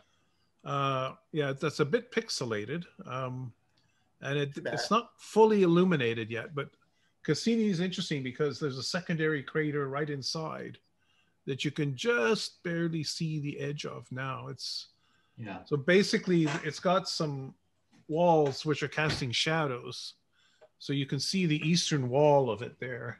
Yeah, our pixel Um, resolution is about uh, three kilo, about three, less than three, kil- just a little, bit, a little bit less than three kilometers is the size of a pixel. So, so Randy, there's Cassini. You were asking to see that. Not much to look at at the moment. Uh, but over to the uh, over to the right are a, a pair of craters. The one at the top is Aristoteles, This one here. uh, yeah, and the one below it is Eudoxus, and that, those are very prominent. Uh, I believe those are in Explore the Moon. They are. whereas Cassini may or may not be. I'm not sure about um, Cassini. Uh, but certainly Aristoteles. Have a Narcissus are- question on Facebook Uh-huh. from Phil Parslow. He says, are there any more good clair obscur features at different times of the month to see? There are a few. Uh, I just can't recall them off the top of my head. The uh, Amelia Earhart crater is visible in this view, which most people don't know about. One of the one of the women craters. Yeah, and I, that got made official a couple years ago, 2015. I don't see it on my um, moon atlas. Maybe maybe it Yeah, hasn't been it's, updated. it's 20 it's 2015 and it was only they've only defined you can see the feature on the screen here it's to the about at least on my screen an inch to the right and down a bit from Aris- aristotle the bottom of the two That's Eudoxus, the bottom. you can't So you mean right it down doesn't the, bo- no no it doesn't you're not it doesn't look naturally like a crater um you'd have to you'd have to almost google it and then and then cross reference but So it, it probably has a again a secondary crater name. It might be Eudoxus something like a letter name. no it's big it's as big as one of those other Oh, ones. So yeah, so it doesn't have a secondary one. It's you know about 100 kilometers across, I think. okay. Yeah, I Um, have no idea what it is. So Yeah. I, I see on the lunar atlas map, I see a, a kind of a depression that looks fairly big, but it's not labeled. Yeah, here I could uh can I Cassini is, by Press the way, control from aha. John Cassini Read is- is requesting control of my screen. Aha. Will let me do it? Here, I'll just circle it if it lets me do it. I let you do it. Okay, I think it's it's this depression right here. I don't see anything. Your, the cursor isn't moving. Oh, it's not moving. Oh, there we go. No, Okay, I that thing on, there? it's- No, it's No, my that's mouse, Alec- and mouse are in a that's- different place. That's called Alexander, according to my map. I'm, I'm telling you, my my my cursor on my screen is not where Dave's cursor is. I see two cursors. Okay. Okay, so you see mine going in a circle? Yeah, but I, according to my map, it's called something. Oh, now it's moved over there. that's Bürg. Okay, so the one that's moving is Dave. The Oh. one that's going in a tight circle is me. I'm not, it, it's not appearing. Okay, never mind then. So how do I Yeah, get my control of my computer back? Here, I'll give it. No, no, no, it says waiting for John to control your screen. So I've given you permission, but it hasn't, you haven't taken it. Oh, you can control Dave's screen. Okay, I don't think it's. It says uh, it says I am, but it's here. I'll just stop. Okay. It was a, val- a valiant effort. I've I've got it pointed out on um on my Learn to Stargaze website under downloads. I've got a, a map with all the craters. Okay, I'm seeing two cursors now. So one of them's got to go. Wait, I shut mine off. Okay, it's gone. Must be a big delay here. So can you, can Dave, can you move your cursor around? No, Yeah, it's come come- back. Okay, I put, I'm on the. the- the big- Eudoxus. The big crater, yeah. So where am I going? Well, it, uh, I don't know where you're going. I'd like you to go to the right. And that one there, Bürg. um, I'm not so sure. Yeah, it's Well, it might be. It might be. But it's in a lake. Lacus well. Mortis. the, the, the, the lake of death. But uh, uh, but farther along, there's another pair of craters, Right here. Hercules and Atlas, So and I'm pretty me. sure those are in Explore the Moon. These two And above that, near the limb, is Endymion. Uh, a- above that pair, Atlas, there's a, a bigger crater Right there, there. Endymion. It's it's got a bit of a dark floor. Um, And Dave, Cassini is in the telescope version of Explore the Moon. Okay. Oh, I'm pretty sure it's there. Yeah. Oh no, I wasn't sure. Yeah. Yeah. I'm I'm just surprised that Randy thinks it's hard to find because I don't I don't find that it's uh, that it disappears like he said. But um uh, it, no, go back to the It Terminator wasn't something they saw in the 17th century. Uh, well, I can. Okay, I accept that. because it is a, it's, it is a little bit. Okay, so there's there's a horizontal um, rift uh, on the current there. So right there, the the mountains north and south of that spot. Uh, okay, we lost our cursor. Yeah, I'm just trying to make the contrast a little bit Yeah. better there. Um, yeah, Anyway, good. That's yeah, good. here, yeah. So the mountains that are running north south there are the Alps, and that uh, rift through the mountains that he was pointing at uh, is the Alpine Valley, Vallis, uh, whatever that whatever that works out to be, uh, Alpinus or Vallis. Alps. the, that's the Alps mountains and the Alpine Valley. Yeah. Now, um, that the Alps, I think, might be in the binocular version, but the Alpine Valley is only in the telescope version because it it for a short while we had it in the uh, binocular version, but some of the some of the testers said they really couldn't pick it out, so we took it took it out. It's not really a binocular object. Maybe under exceptional circumstances. Shall we take a swing down to see if we can find the L that Randy Dodge suggested was near the Yeah, bottom? d- yeah, do that. Like, let, let me just see if there's something else to look at before we go, though. Um, I'll just say before we go, uh, that dark area north of the Alps there is Mare Frigoris, the Sea of Cold. Um, but yeah, okay, go go down and uh, go to the south limb, I guess. Well, there's the V. Yeah. And by the way, I uh, I put a link in. This is Ellen from Kitchener Waterloo. Oh yeah. Uh, about the uh, Clair Obscur uh, list okay, thank you for that. in the chat. In the chat, right? yeah, that's really helpful. Thank you. Oh, there it is, What the L? right there. Right there. Oh yeah. Okay, I didn't know that one. The lunar L. Is that in the list, Ellen? I have no idea. I don't know that list myself yet. Oh, you were trying to fool us that you were an expert. no, no, no. I just I just found it uh, about half an hour ago when uh, when we were talking about it. Uh, yeah, these don't these things don't show up so much on my moon atlas because it doesn't really do the uh, illumination that well. But let's try to figure out where it is. Uh, what craters it's near. Um, So there's a couple of overlapping ones here. Few, few sets yeah, I'm trying. I'm trying to get uh, oriented here. It's very busy. This is the what's called the Southern Highlands. There's not any uh, mare around there. There's just like one crater piled on another one, and I'm trying to get my orientation. Um, Dave, yeah, um, I can make out where Maurolicus, if that's how you pronounce it, is. Yeah. And then you've got uh, sort of just below to the left of that at about uh, seven, eight o'clock, you've got the pair of the Licetus and Heraclitus. yes. There's a little trio there, almost on an equilateral triangle. Right. And then that L is just, again, that same sort of distance away from there. And it, Yeah. Luke, maybe that would be forming it? Uh, eh, it's hard to say. It really is hard to say. Uh, I only just learned about it this minute. Um, but yeah. So, Dave Lane, Yes. is that is that your s- s- cursor there? Yeah, right Mo- here. okay. Yeah.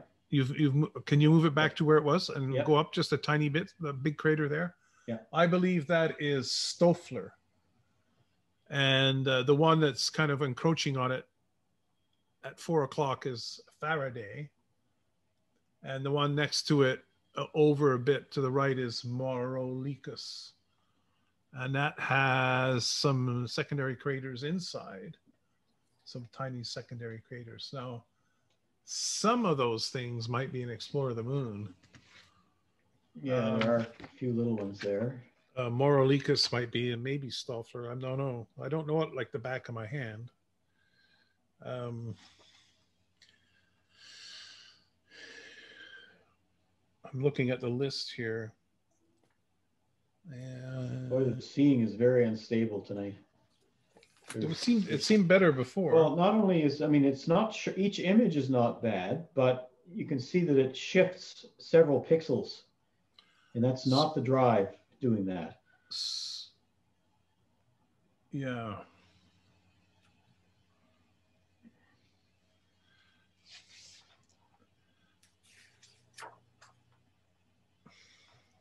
So some of those craters we were just talking about, I don't even think they're in the list. Yeah, Derek Scope. Mor- has Morolic- back and- Maurolicus is. It's called a large crater with terraced walls, Mhm. and it's and it's and it's uh, indicated as uh, on QD minus one, which it is in fact because tomorrow is the tomorrow is the first quarter, so today is QD minus one. Um,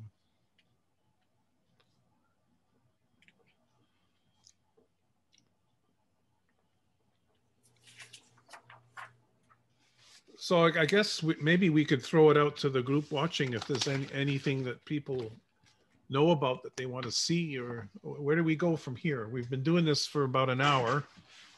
Um, I guess it's kind of open ended. Yep. I mean, the Altai Scarp is nice on there. Yes. Why don't we move move over and have a look at that? Where's that mean. Pretty much centered on it. It- It's centered there now. So there's the three. Uh, there's the three. The trio of craters. Is that Um, these ones? that trio. Or is it the ones closer to the, That, that's th those are Theophilus, Cyrillus, and Catharina, and they're next to Mare Nectaris. If you keep on going below Catharina, you can see the scarp there. It's that line, that bright line. Yeah, right about here? Three inches up into. No, no, you're way over. Oh, oh, this one here. Yeah, yeah, yeah. That's the Altai scarp, and it ends up in a crater called Piccolomini. That's the one with the raised. Yeah, it's got a, it's got a center.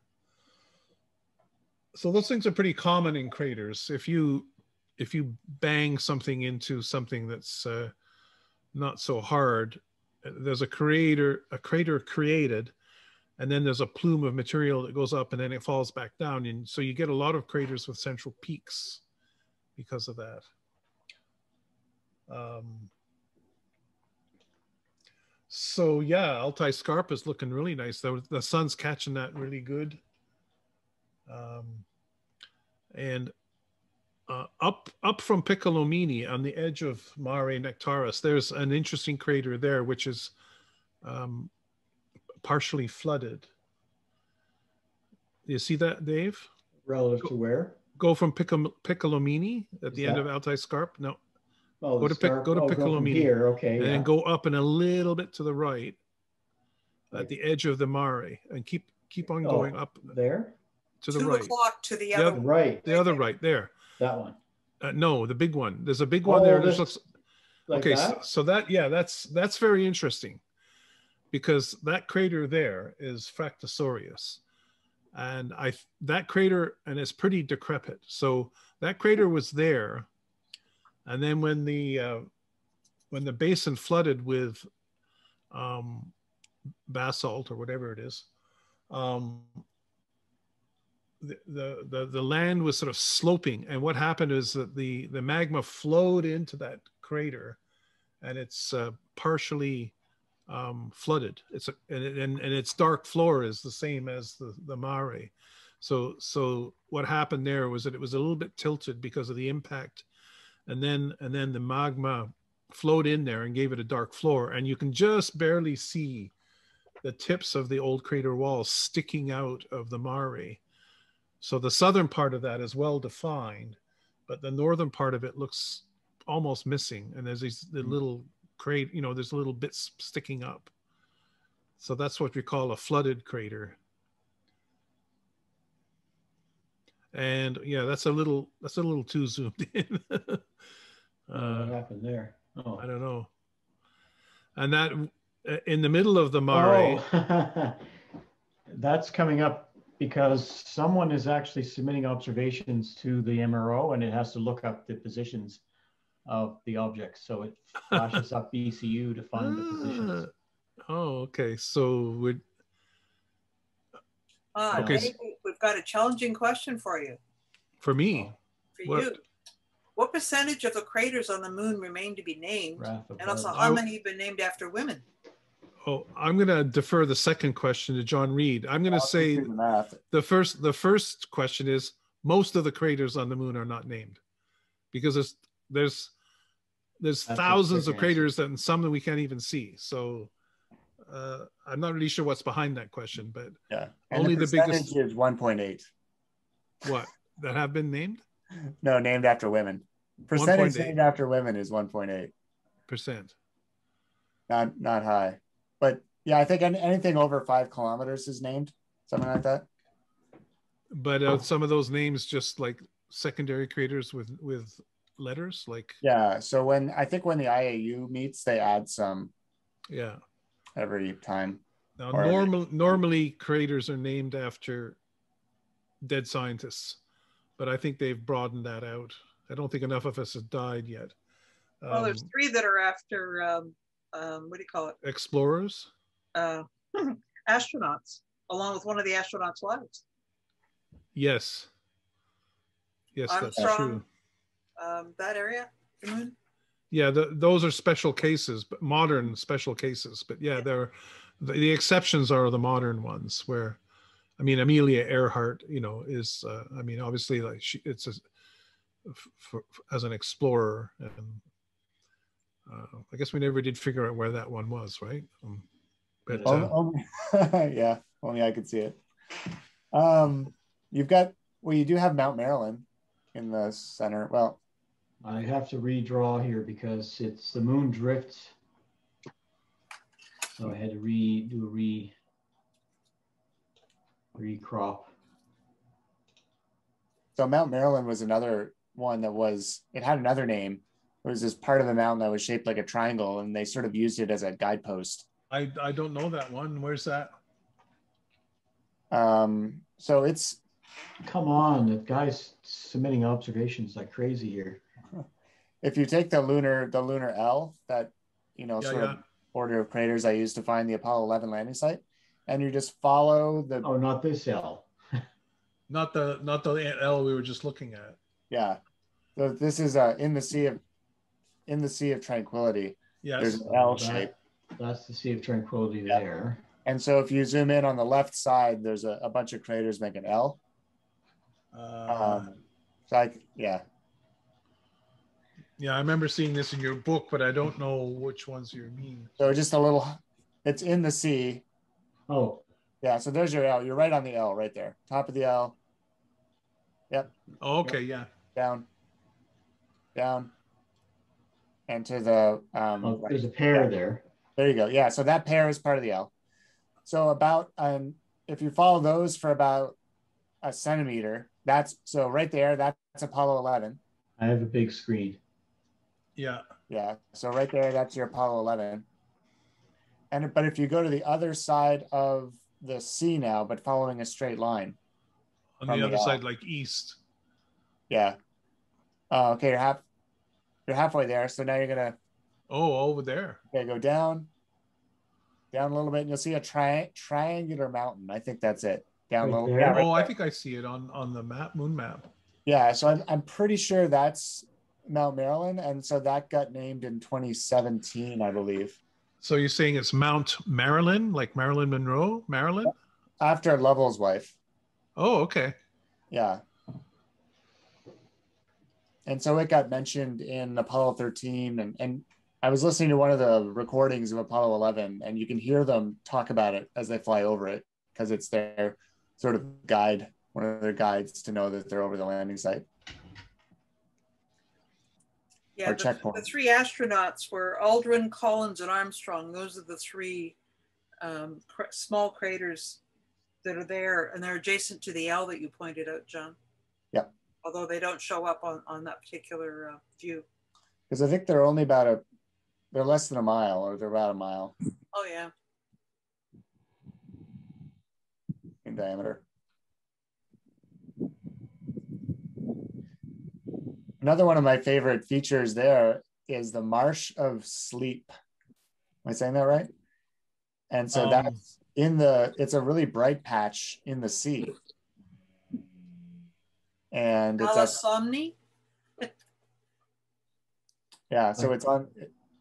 So if you just take your mouse and go to the right, and you'll see a bright patch in the sea. It's huge. Right up, right up. So just go up. Yeah, Oh, that. like this, this. All that, yeah. So that's the mar. I think that's the Marsh of Sleep. Oh, Palasom Palus Somni. Yeah, it's right next to Mare Crisium. That that sort of gray area. Yeah, that's that's I always thought that was really pretty. And then the crater on the other side is a ray crater. That one, yeah, and it sort of shoots out this beam of light away from this. that's that's Proclus. Yeah.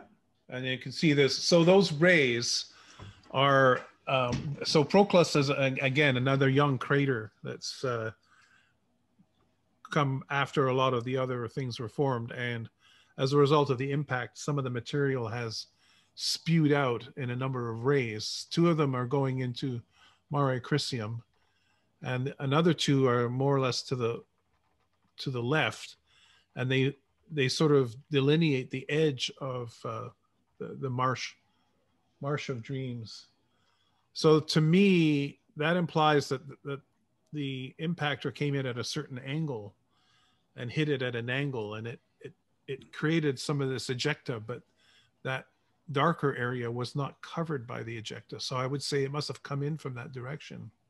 Wouldn't Yeah. you say something like that? Hard to say. I mean, that's that's some cool trivia. Is that almost no matter what angle the craters come in or the asteroids come in, the craters are round, and that's because the asteroids are so much smaller than the crater they make, and so it's almost just they come in and it's Yeah. They explode. Um, but I but I think the ray the ray patterns may uh, reflect something about their angle of incidence. Yeah. Wouldn't the um, wouldn't the height of the crater walls also give you a clue as to what direction it came from? no, because that would be the resulting explosion. Yeah. so it's Um, like you deposit a whole bunch of energy and you get this big crater. Yeah, the other the other really cool thing, um, a lot of those double double craters are sometimes caused by double asteroids, like asteroids that come in looking like snowmen. Well, I mean, the more we, the more asteroids that are We observed. just lost up. Dave. What? We hear Dave. Can you hear me? Yes. I was going to We lost say you. more, uh, you know, as we get near more and more asteroids and image them up close, so many more of them than we ever expected are ended up being. Your voice is really low, Dave. Something something happened to your audio. Uh, is it just you or the other, the rest of us the same? Oh, the same? hang on, maybe it's me. It sounded okay to me. Okay. Okay, I've got a I've got a bad analog connector here with my headphone. No, it's good now. Okay, what I was saying was that uh, you know, 20 years ago, we didn't know there, know there were any double asteroids uh, or asteroids that have moons, but it seems like more and more and more asteroids that are observed up close end up being. Whoops, there's somebody. Um, asteroids that are observed up close, we actually find out that they are actually mo- or uh, asteroids with moons around them or double asteroids. Yeah. And that's a, And, that's a uh, pretty new new uh, phenomenon. To, to go back to uh, the discussion about Amelia Earhart, uh, Eric Briggs notes that the park in Amelia Earhart's birthplace in Kansas has a tree planted in it whose seed was flown to the moon on Apollo 14. Ah, Cool. One uh, thing that some of you may not be aware of is that there is a possible uh, meteorite crater in Nova Scotia in the Annapolis Valley. And it's uh, it a- is actually if it is a, if it is a, a meteor crater, it's likely a double it's a double crater um, overlapping south Yeah, of I- Middle south of Middleton. I saw a presentation on that. Yeah, it's called the Astrid, well, in, informally, informally called the Astrid crater, named after the daughter of the uh, geologist at Acadia that discovered it back in the 19, early 1990s, I think, or late 80s. I think Sure. it, I think it's underwater now. I think it's it's in a reservoir that's um, belongs to Nova Scotia Power and it's dammed. Yeah, Nova Scotia um, uh, the story goes that he was studying aerial photographs and noticed this odd looking feature and didn't do anything about it. And when he finally got around to going going over and looking, he re, he found out that they'd flooded the land post, which actually helped because he went there in the wintertime and used the equipment sort of rolling on a nice smooth surface, so he didn't have to you know deal with the lake situation. So, so part of the lore about that crater, at one time before it was flooded, wasn't somebody using it as a corral for his cows or something? I think that's what Roy Bishop had said, told us. I think as part Yeah. of that. Yeah, it was actually sort of a natural fence. Yeah, I've um, I can't remember the guy who talked about that. I think he passed all of his stuff over to a younger professor at Acadia. Yeah, his name is George Stevens. Yeah. And before he retired, he actually packed all his stuff up in a box, and it's sitting in a cabinet at SMU near my office. Oh, But he also, uh, I believe, he left a copy of every, of his work with uh, uh, at the university, and I, I did hear that there's an, a younger geologist that's picked it up, but I don't know what. What's I think his name might be Ian something. You're right. Yeah, it sounds. And and I, w- I remember I went to a talk at uh, the Bl- Blomidon Naturalist Society at Acadia, and I heard him speak about this. Very interesting. So Judy, Yes. It's called the Um, Bloody Creek Crater, also. the also. Bloody Creek. Crater. I just want to know uh, when when are we thinking about wrapping this up? That is totally up to you. I've got it slated for four hours, so it's up to you as to how long you'd like it, Dave. Well, I'm not going to make it four hours. I wouldn't expect so, no. So I'm going to say it's 9:18. I'm I'm going to suggest unless uh, people really want to keep going. I'm going to I'm going to say we should wrap this up at 9:30, 10 minutes from now. Um, it, it looks like the the limb um, by Crisium there is is librated, but you can actually see the uh, the couple of oceans or um, seas there. Yeah. Um, Mare Undarum, for one. Whoops. Yeah, it's a bit too bright, Dave. Oh, uh, so you were oh, we're looking over towards the, uh, The limb. The limb. Sorry, yeah, I meant the li- to- it's actually not a favorable libration for those seas, but it, yeah, you can see. Uh, uh, You can see under him. I always used to call it underarm. That's what it looks like. And, and Spumans is the other one that's below it that you can. Yeah. Is that like this one here or? That, that's underarm, underarm there. Under- And and Spumans that's, is that's below that. Crisi- Sir Crisium there, right? Is it? Correct. Yeah. So what I'd like to do, Dave, in the last few moments, and if people want to carry on, that's fine. But um, I'm fading a bit here myself. So uh, in the last few moments, I'd like to go back and look at the X once more, see how things have progressed. Yep. So it's just, uh, I've got the X on my screen there. Okay, brighten it up. So, so it's still hanging in there. It's been about an hour, and it's still showing up. But you know, you can see. I think you can start to see the surrounding floor, crater floors and stuff are beginning to get illuminated. but Jerry's, uh, zoomed in there too. I can't see Jerry's. If you um, have gallery view down the side and you scroll through the uh, people, you'll be able to see. Oh yeah. I'd still like to know how we did it yesterday. We, we Well, I'm had, sharing the screen, so you should see him because I, uh, that is on my screen that I'm sharing.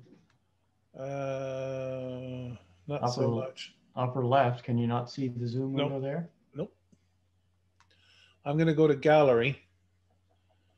And, huh. I'm not even seeing it in gallery. I don't see, I see Jerry. I don't see his.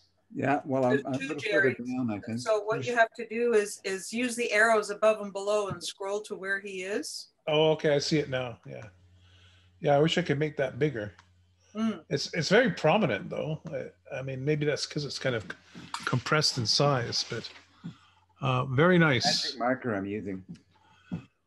Um, It's the Sharpie version, huh? So one thing I'm seeing now is there's a little crater at the end of one of the arms of the X, the what I'm going to call the northwest arm of the X. There's a crater appearing that wasn't there before.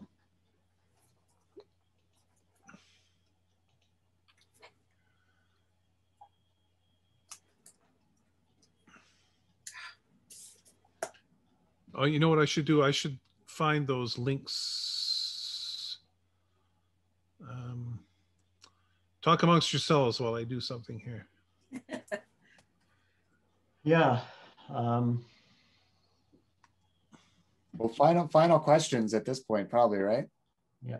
Yeah, well, I mean, people can carry on as long as they want, but I'm I'm fading. Um, I, I think I think I'd like to wrap it up uh, Um, for me anyway. My involvement.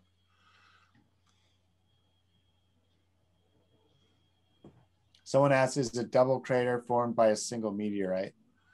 How close is it to the ground when it splits? Which double crater? So just in general, I think.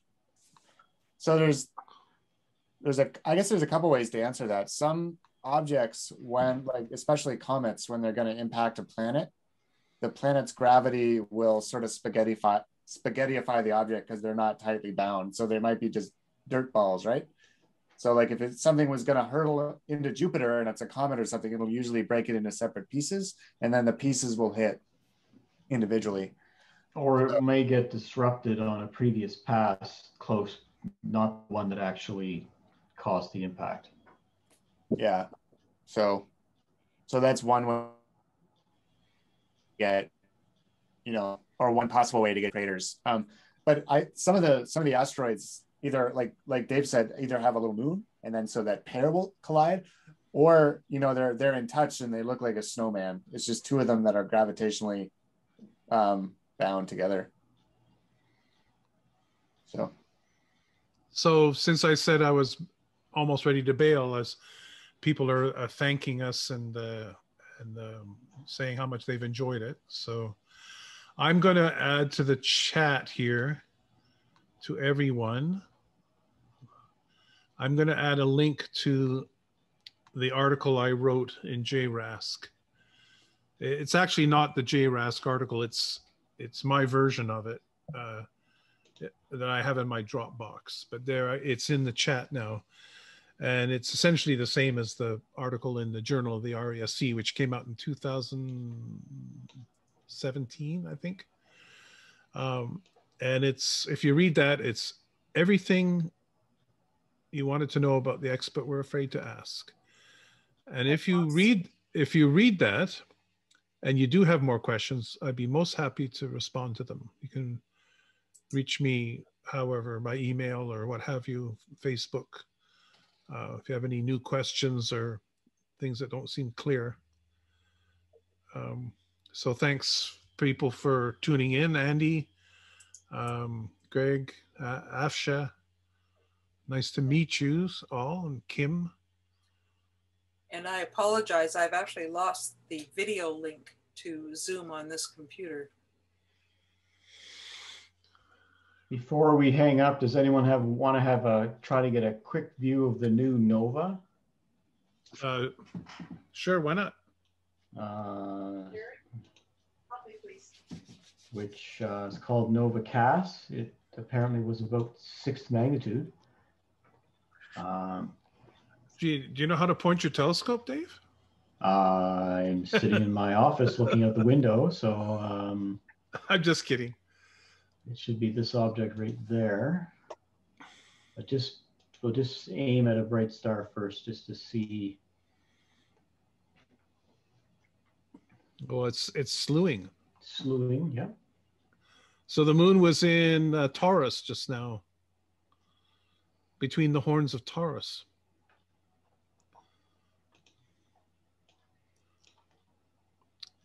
So for the people uh, out there, the lunatics, I don't know if it's supposed to be clear tomorrow night, The next Uh, four nights, actually. but tomorrow night you should be able to see the straight wall, which is uh, definitely an object in the. So you'll see a whole bunch of new things next to the Terminator tomorrow. So John Read should be able to rack up quite a few objects uh, tonight and tomorrow. After after f- the first quarter, there's not so many objects. There are still a few, but if if you observe like three nights around first quarter, you would probably nail about So twenty five percent of what you needed. So Is that, that it? object, that's uh, Cath. Cath. So now we'll go to Nova There's lots to see in the other half. Whoa, Cycle look at day that. For the, uh, what do you call it? Explorer, uh, Isabel Williamson. Yeah, there's a lot. It's just that for some reason, uh, there's not so many in the western part of the moon in explore explore the moon. I think it's because there's not as many craters. You know. I, I've been out four nights and I'm at about exactly the halfway point. And Holy, yeah. We'll have to give you a special gold star for doing it the quickest. The the Messier. There's actually a star cluster there. You can see. Uh, Yeah. Just do a 15 second exposure. Is that the owl cluster? Maybe. It is called. Oh, it's M52. Which Great. is M52. does it have a common name? Uh, NGC 7654. that's a Uh, less that's- common name. I meant like an English name. Let me look it up. So these are raw images. So there's no cal. Actually, I can do a calibration. It's also close to the bubble nebula or something. Yeah. So it's this star rate. Yeah, that's the salt and pepper cluster. Oh, Yeah. yeah. So it's this star rate there.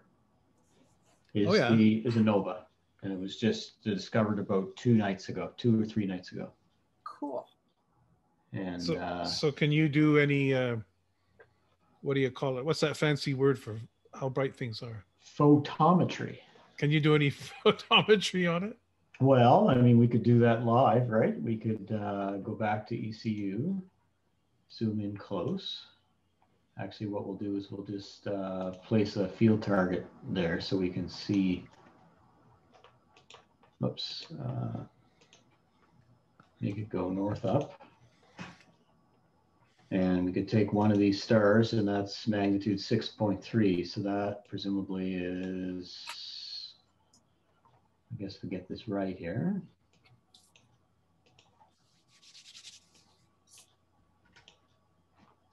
Uh, so that so this star right there is this one. Hmm.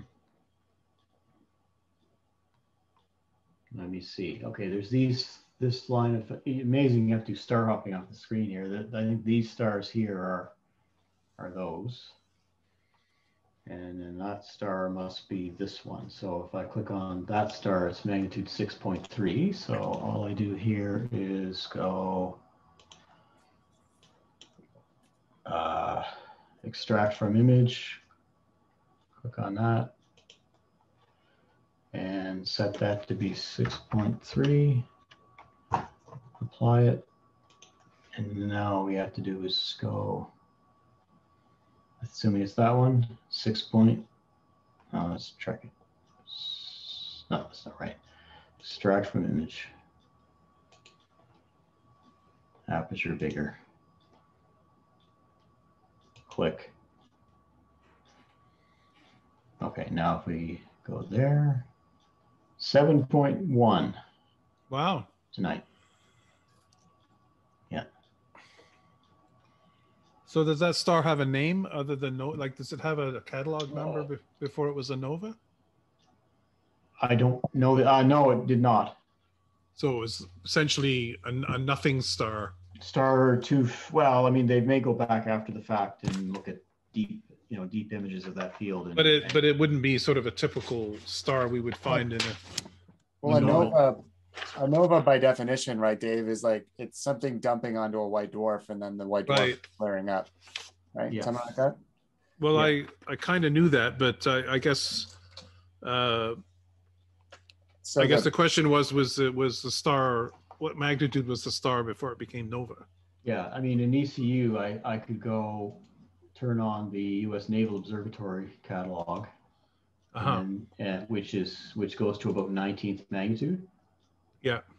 So where are we at here? Uh, uh,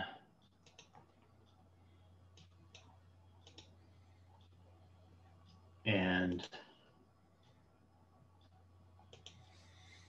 there's a 14th magnitude star nearby, but I suspect that if we took a long, I mean, you can see there's all kinds of fainter things here. Yeah, I think it would be pretty hard to find that casually if you just went out. Yeah, what I don't know is is this position, this MRO nine Novacast 2021. That object was added by uh, an MRO observer yesterday, so I Oh. don't because they observed it last night. So you Um, think that might be the Nova? No, what I'm saying is that it was discovered by somebody, Yeah. and then uh, someone, I guess I could look it up, uh, number observer number nine. Uh, losing my mind here. Uh, I'm just curious now who it is. So they they saw an announcement on the AVSO or something like that. Um, list of observers. Number nine is oh Philip Romanov, who's a Russian uh, young man in his early 20s who lives on the west, uh, sorry, the east coast of Russia next to Japan. And he's an amateur astronomer extraordinaire. And he added this object to the database so that he could observe it last night. This, this isn't the homeless guy, is it? Yeah. uh, wow. Yeah, he's using both BGO and ARO and MRO, all of them. Now doing mostly variable star observations and near Earth asteroids and stuff like that. Um, but yeah, so uh, yeah, So so, no, go ahead. Uh, yeah, I guess we're getting to the point where I said I was going to fade away.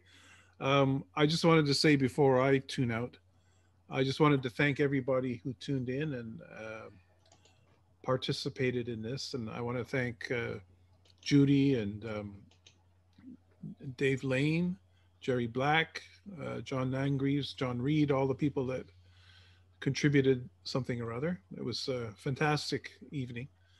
Uh, the other thing I want to say is that it's not too late, and uh, you you still, if it's clear where you are, I mean it is here, you can go out and still observe the lu- the moon and the lunar X live through your telescope and binoculars uh, after this is over, hopefully. So especially if you're farther west, so uh, don't uh, don't pass up the opportunity to see it for with real photons. um, I'll probably I'll probably hang around, but I think I'm going to stop talking and interacting and just we'll just uh, just coast at this point. So anyway, it's been a, great uh, a great gathering, and uh, I've really enjoyed it. Sure. Um, I think we're kind of done with the moon. So if anyone wants to wants to have a look at some other object in the sky, just quickly, we can make the telescope move there. Otherwise, we'll probably uh, shut down and let the observatory run through its observations, which it has queued up for tonight. If we actually look and see what that is, it has uh, about um, well, that's ARO. Uh, Mini Ralph uh, has about 17 observations in its, yeah, uh, in its queue. This fellow, Ra- Rafa Barbera, is from Spain, and he saw a talk I gave about this telescope to the Toronto Center of the RASC and requested access. So he's queued up a bunch of uh, looks like galaxies or something like that tonight.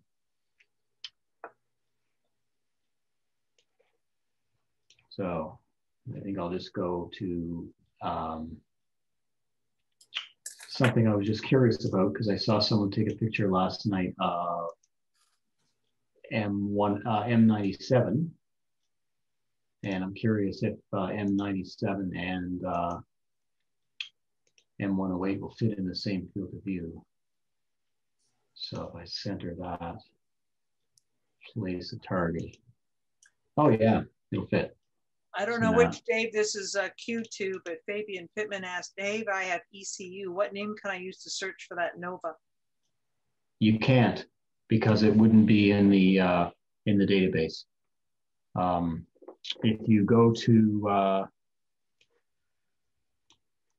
uh, aavso.org, which is the American Association of Variable Star Observers, likely there's a news item on their page. I would hope.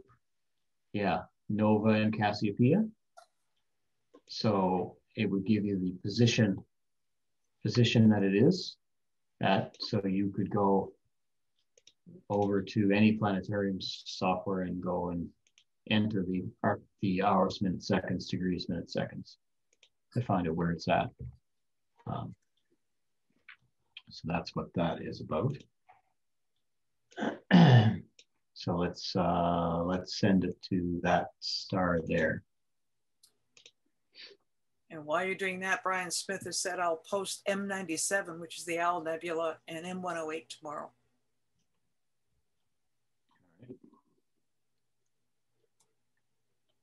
So it must be moving. Bill. Yep, there it goes. This little guy slews really quickly. It's a Celestron Advanced Astromaster mount. Pretty cheap mount, but pretty good. So we'll try five seconds. Unfiltered.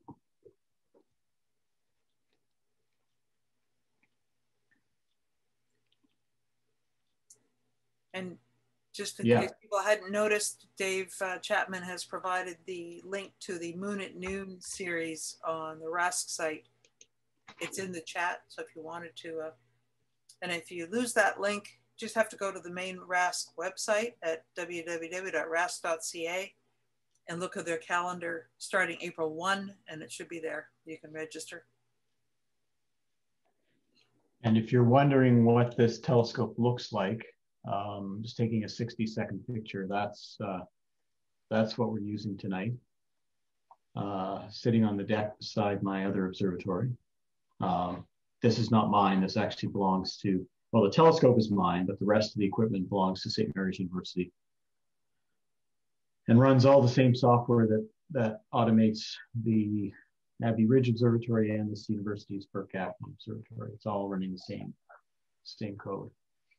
Um, the nice thing about this little telescope is its field of view is is big. It's about two by uh, one and a half by two and a half degrees, if I remember correctly.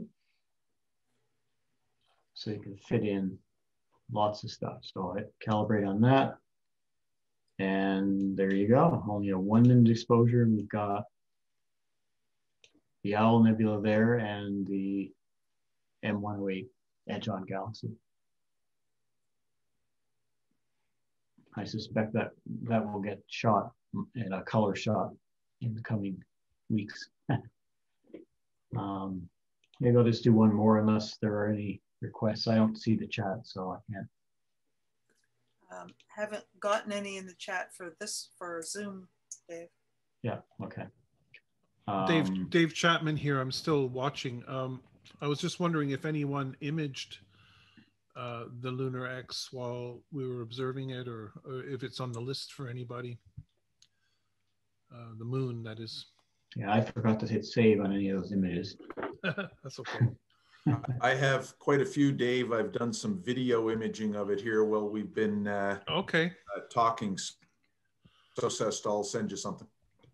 Yeah, it'd be nice to share something maybe on our listserv tomorrow, or maybe throw something This, up at one. this is one- the, um, if one second here. Uh, yeah, I've I've got the first one done here where I slightly overexposed part of the moon. Seems like it'll be okay. So uh, okay, once I get them in, I'll send you one. Thank you. Yep. And we'll, I think we'll just, uh, no, that's too low. You can see on this uh, planetarium screen, this sort of aqua colored line is the approximate horizon of the observatory. So it's um, this, it's, it's quite obstructed because it's sitting down on the deck and it's got the big observatory in the way uh, in front of it. There's a I think this section from over here through here is largely the ARO dome blocking the view over in the southeast. Uh, no, it would be in the, no, I think that's this area here. There's a little bit of a duck. This is the house uh, through, this is the house through here. Yeah, obviously I have no idea what I'm talking about. it's, the, it's, it's backwards is what's happening. Let's just take a, just before we're done, let's take a quick shot of uh, the Orion Nebula because that's always a, a treat.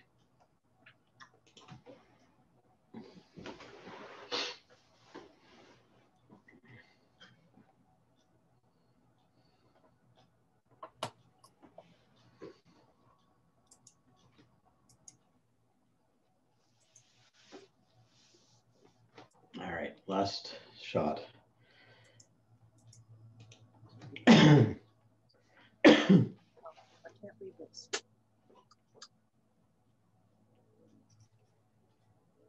Um,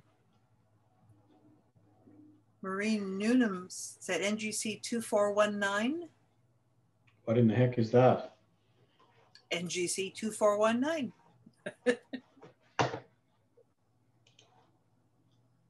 Search. Marie is our resident lunatic in KW RASC. She says it's a distant globular. NGC 2419. 2419. Well, look at that. 10.4 magnitude and it's 6.2. Actually, it's not bad. Uh, it's directly overhead. So what we'll do is we'll just leave that there.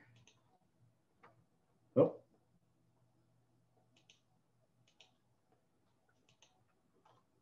And there's the Orion Nebula.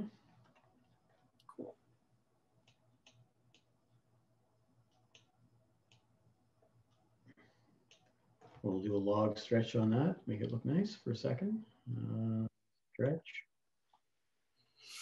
Uh, let's do a gamma stretch. Unlimited.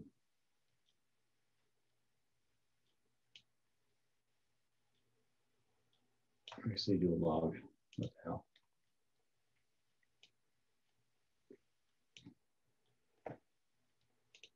There we go. Wow.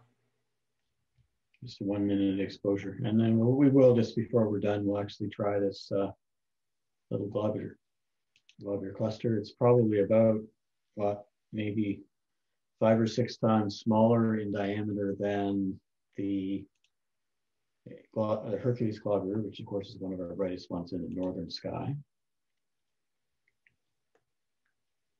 So it's almost at the zenith. Um, it is close to the moon though. Notice, notice it's only about 30 degrees from the moon, so there would be a lot of inter interference from the moon. So let's take a 60 second shot of that.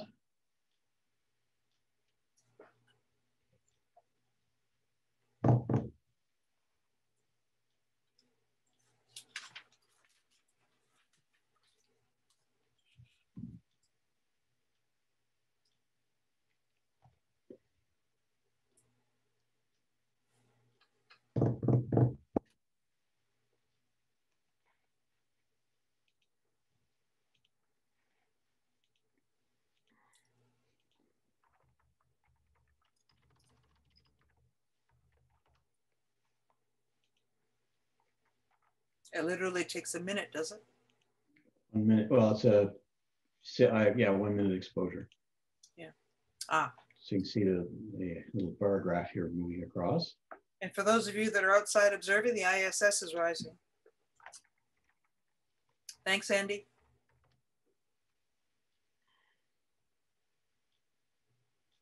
Okay. It's a small object, so it's that little tiny thing there. Hmm. Let's do a process, calibrate. Yeah, it is a very distant globular cluster. So the stars are basically not basically not resolved. Looks like you can see a few, maybe a few towards the outer edge. That's about it.